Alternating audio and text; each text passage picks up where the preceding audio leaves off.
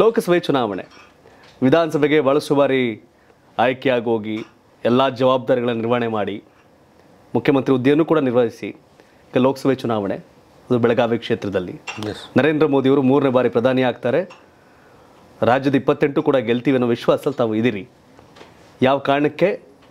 ಬೆಳಗಾವಿ ಜನ ನಿಮಗೆ ಓಟ್ ಹಾಕಬೇಕು ಕರ್ನಾಟಕ ಜನ ಬಿ ಜೆ ಪಿಗೆ ಓಟ್ ಹಾಕಬೇಕು ದೇಶದ ಜನ ಮೋದಿಯನ್ನು ಆಯ್ಕೆ ಮಾಡಬೇಕು. ಇವತ್ತು ಲೋಕಸಭಾ ಎಲೆಕ್ಷನ್ ನಡೆಯುವಂಥದ್ದು ರಾಷ್ಟ್ರೀಯ ವಿಚಾರ. ರಾಷ್ಟ್ರೀಯ ವಿಚಾರಧಾರೆಗಳಿಗೆ ರಾಷ್ಟ್ರೀಯತೆ ಮೇಲೆ ಇಲ್ಲಿ ಈ ಚುನಾವಣೆ ನಡೆಯುವಂಥದ್ದು. ಅದರಲ್ಲಿ ದೇಶದ ಸುರಕ್ಷತೆ, ಭದ್ರತೆ ಮತ್ತು ಜನರ ಒಂದು ಸಂರಕ್ಷಣೆ ಹಾಗೂ ಉತ್ತಮವಾದಂಥ ವಿದೇಶಿ ನೀತಿ, ಉತ್ತಮವಾದಂಥ ಆರ್ಥಿಕ ನೀತಿ, ಯಾವ ವ್ಯಕ್ತಿ ಈ ದೇಶದ ಚುಕ್ಕಾಣಿ ಹಿಡಿದ್ರೆ ಒಳ್ಳೆಯದಾಗ್ತದೆ ಯಾರು ಪ್ರಧಾನಮಂತ್ರಿ ಆದರೆ ದೇಶಕ್ಕೆ ಒಳ್ಳೆಯದಾಗ್ತದೆ ಅನ್ನುವಂಥ ಥಿಂಕಿಂಗ್ ಮಾಡುವಂಥದ್ದು ಮತ್ತು ಅಂಥ ವ್ಯಕ್ತಿಯನ್ನು ತರುವಂಥದ್ದು ಅಥವಾ ಅಂಥ ವ್ಯಕ್ತಿಯನ್ನು ಮುಂದುವರಿಸುವಂಥದ್ದು ಈ ಚುನಾವಣೆ. ಹತ್ತು ವರ್ಷ ನರೇಂದ್ರ ಮೋದಿಯವರು ಈ ಒಂದು ದೇಶದಲ್ಲಿ ಅಧಿಕಾರ ಮಾಡಿದ್ದಾರೆ. ಉತ್ತಮ ಸರ್ಕಾರ ಕೊಟ್ಟಿದ್ದಾರೆ. ಭ್ರಷ್ಟಾಚಾರ ರಹಿತವಾದಂಥ ಸರ್ಕಾರ ಕೊಡ್ತಾರೆ. ಒಂದು ಗುಡ್ ಗವರ್ನೆನ್ಸ್ ಅನ್ನೋದಕ್ಕೆ ಏನು ಉದಾಹರಣೆ ಇದ್ದರೆ ಅದು ನರೇಂದ್ರ ಮೋದಿಯವರ ಆಡಳಿತ. ಹೀಗಾಗಿ ಇಂಥ ಸಂದರ್ಭದಲ್ಲಿ ಇವತ್ತು ಜನರು ಬಯಸ್ತಾ ಇರೋದು ನರೇಂದ್ರ ಮೋದಿಯವರು ಇನ್ನೊಂದು ಸಲ ಪ್ರಧಾನಮಂತ್ರಿ ಆಗಬೇಕು. ಇದು ಓವರಾಲ್ ಎಲ್ಲ ಕಡೆಯೂ ಇದೆ.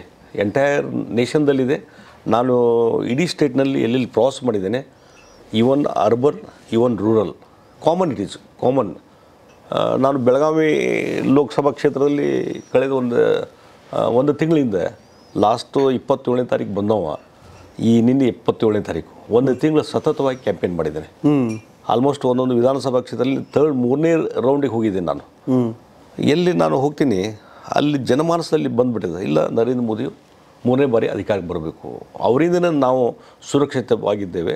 ಅದಕ್ಕಾಗಿ ಅವ್ರು ಪ್ರಧಾನಮಂತ್ರಿ ಮಾಡಬೇಕು. ಎಲ್ಲಿವರೆಗೆ?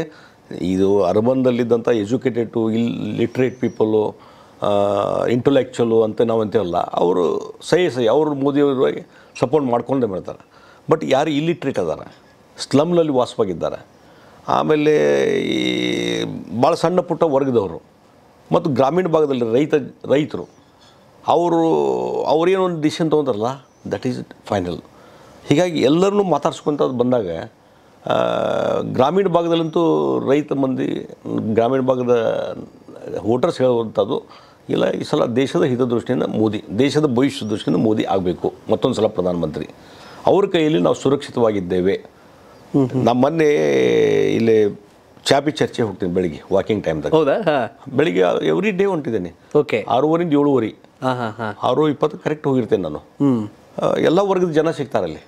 ಬಡವ ಬಲ್ಲಿದ ಶ್ರೀಮಂತ ಎಲ್ಲ ವರ್ಗದ ವಾಕಿಂಗ್ದಲ್ಲಿ ಸಿಗ್ತಾರೆ. ನಿನ್ನೆ ಕಾಯಿಪಲ್ಲಿ ಮಾರ್ಕೆಟ್ ಹೋಗಿದ್ದೆ. ಇಲ್ಲಿ ಕಾಯಿಪಲ್ಲಿ ಮಾರ್ಕೆಟ್ ಭಾಳ ದೊಡ್ಡದಿದೆ. ಇಲ್ಲಿಂದ ಗೋವಾಕ್ಕೆ ಎಲ್ಲದಕ್ಕೂ ಹೋಗ್ತದೆ. ಓಕೆ. ಅಲ್ಲಿ ಸಣ್ಣ ರಿಟೇಲರ್ಸು ಹೋಲ್ಸೇಲರ್ಸು ಒಂದು ಸಾವಿರಾರು ಮಂದಿ ಸಿಕ್ಕರು ನನಗೆ. ಹಾಂ.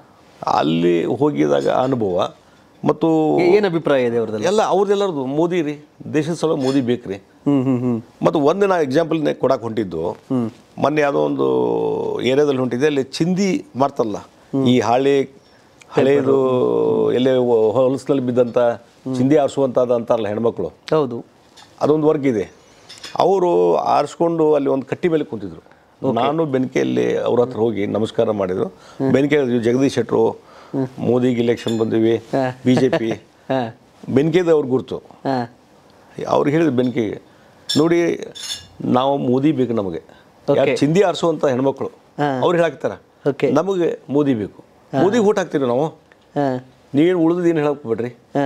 ಆ ರೀತಿ ಒಬ್ಬ ಇಲ್ಲಿಟ್ರೇಟು ಚಿಂದಿ ಆರಿಸೋ ಹಾದಿ ಬೀದಿಲಿ ಚಿಂದಿ ಆರಿಸುವಂಥ ಮಹಿಳೆ ಇವತ್ತು ಮನಸ್ಸಿನಾಗ ಮೋದಿ ಬಂದಾಗ ಅದ್ರ ಮೇಲೆ ನಾ ಅದ್ರ ಮೇಲೆ ಯಾಕಂದ್ರೆ ಇಷ್ಟು ವರ್ಷದ ಮೂವತ್ತು ವರ್ಷದ ರಾಜಕಾರಣ ಅನುಭವ ಇದೆಯಲ್ಲ ಜನರ ಮೈಂಡ್ ಹೆಂಗಿರ್ತದೆ ಅನ್ನೋ ಗುರ್ತಿದಲ್ಲ ಅದ್ರ ಮೇಲೆ ನಾನು ತಿಳ್ಕೊಂಡೆ ಮೋದಿ ಪ್ರಭಾವ ಎಷ್ಟಿದೆ ಅಂತ ಉದ್ಯಮಿಗಳು ರೈತರು ಬಡವರ್ಗ ಎಲ್ರಿಗೂ. ಎಲ್ಲರಿಗೂ ಮೋದಿ ಬೇಕು. ಎಲ್ರಿಗೂ ಹೆಂಗೆ? Irrespective of caste creed irrespective of caste creed